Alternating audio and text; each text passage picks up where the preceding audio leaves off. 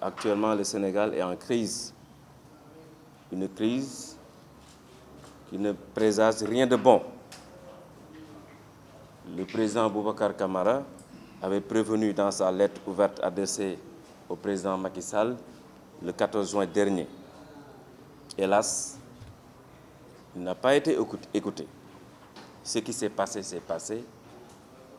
On regrette les morts d'hommes et nous profitons de cette tribune pour présenter nos condoléances aux familles ayant perdu leurs proches.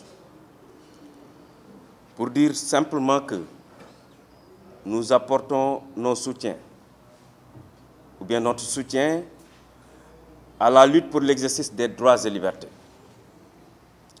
Et nous bannissons la répression du pouvoir qu'il est en train de faire, n'est-ce pas, actuellement pour contrecarrer l'opposition. Et ce qui est triste, c'est que il y a un plan qui a été concocté pour écarter délibérément des listes, ce qui est inacceptable. Voilà pourquoi nous exigeons que le respect du droit de manifester, comme l'a garanti notre Constitution, n'est-ce pas, soit assuré par le régime de Macky. Alors, nous défendons également la liberté d'opinion dans le respect d'autrui. Et nous exigeons la libération sans condition et immédiate des détenus. Des détenus qui sont des détenus politiques, qui ont été arbitrairement et injustement arrêtés.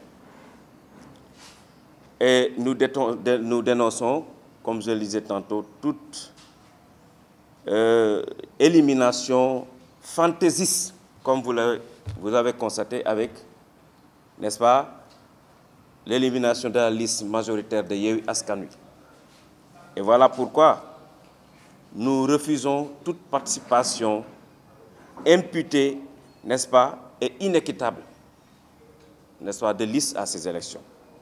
Voilà pourquoi nous exigeons que Yehu Askanui soit rétabli dans ses droits. Et c'est possible, parce que, comme vous le savez, on a validé une liste de suppléants qui compte 50 candidats. Or, le texte ayant recusé la liste titulaire de Yewi n'a ni ne s'est ni prononcé ou bien n'a jamais dit que ce n'est pas possible de faire un complément, une rectification des trois personnes manquantes pour avoir une liste équitable de 53 membres. Et ça, c'est possible. Donc ça, c'est ça a été dit par les, juristes et c'est possible. Voilà pourquoi nous demandons au président Macky Sall de s'adresser au Conseil constitutionnel en posant cette question suivante.